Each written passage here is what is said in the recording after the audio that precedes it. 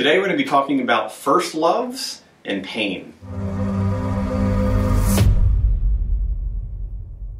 Hopefully I got your attention with that little uh, intro, the title. We'll get to that in just a second. Before we jump into first loves and pain, I wanted to say thank you so much for all the comments, emails, etc. I also got some requests for things uh, that people would like to see on the blog. And uh, if you send me a request, uh, hopefully in the next few months you'll see some, some stuff coming out from us to help answer some of those questions. One of the things that struck me about a lot of the requests that we got was the wide diversity. Uh, I had people asking for more neurology about some of the stuff that we do, people asking about, hey, how can I learn more quickly? Uh, how do I deal with this particular problem, this particular issue? And it just speaks to me because one of the things that we know about the Z-Health system is that people from many walks of life, many different pursuits, uh, use Z-Health. And so it's one of the challenges of doing a blog for the general, the general Z-Health community. Uh, I want to make it helpful for you, so uh, just stay tuned and hopefully I'll get to everyone's request soon. Now, for today's topic, I said we're going to talk about first loves and pain. And to explain this, uh, I want to talk about one of my patients from many, many years ago.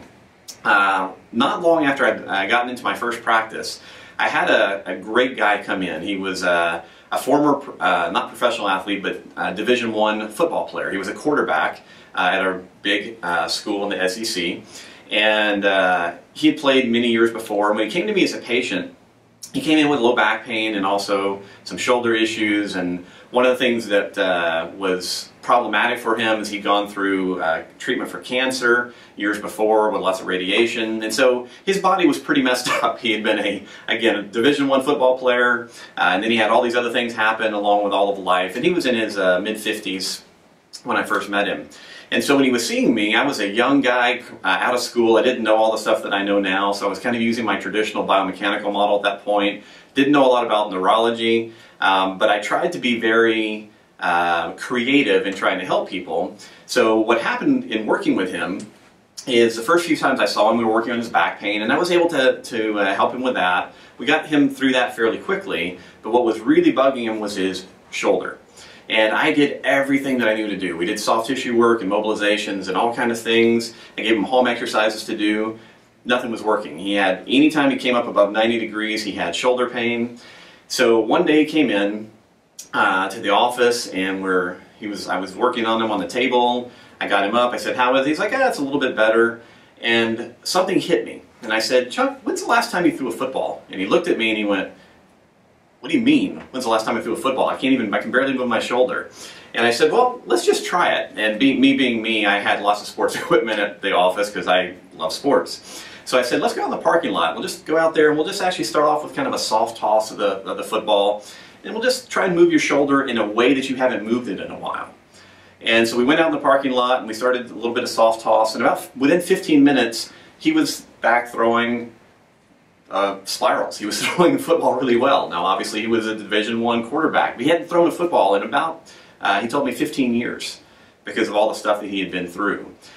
The most fascinating thing in that whole process was watching this big smile creep up on his face. And it was one of the most powerful moments to me to remind me that a lot of times whenever we think we have to follow one route to get to an endpoint, in other words, he came in wanting to get rid of his shoulder pain, I did all of the traditional stuff that I knew to do, but what really mattered was actually engaging him in something that he enjoyed and reminding him of things that he used to love. So one of the things that I talk a lot about in our courses, and I, and I see this more and more because a lot of the people that come into our professional training courses, uh, they've been in the industry for a while. And they see a lot of clients who have maybe been in the fitness industry for a long time or who are frustrated because they're trying to do all the fitness things. They're trying to do their cardio work and their strength work and their rehab work, etc. And they're getting frustrated and often bored. So my suggestion to you in today's blog is just to answer the, the simple question of what was your first love in terms of movement?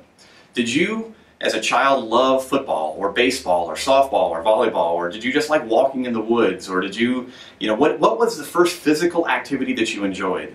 For me i'm a martial artist. I was a martial artist from the time i was five years old. And what i've learned is that when i grow frustrated with any fitness pursuit i need to put it aside and go back to the thing that i love the most which is training in martial arts that restores my motivation and very often if I have something that's bothering me, maybe you know my, my knee or my back or whatever, and I've done all my other rehab stuff and it's not working, doing something that I enjoy is often the most powerful medicine. So for you guys, Uh, I just wanted to throw that out to you today. If you have something that you haven't explored in a long time because you were afraid to do it or you didn't think you should, just start off slowly, take it easy, be prepared to be surprised because oftentimes, in this uh, engages what we know now about pain and how our brain works, whenever we can move doing something that we enjoy, it is incredibly powerful. So if you have any questions about this, please let me know. Otherwise, have a great week.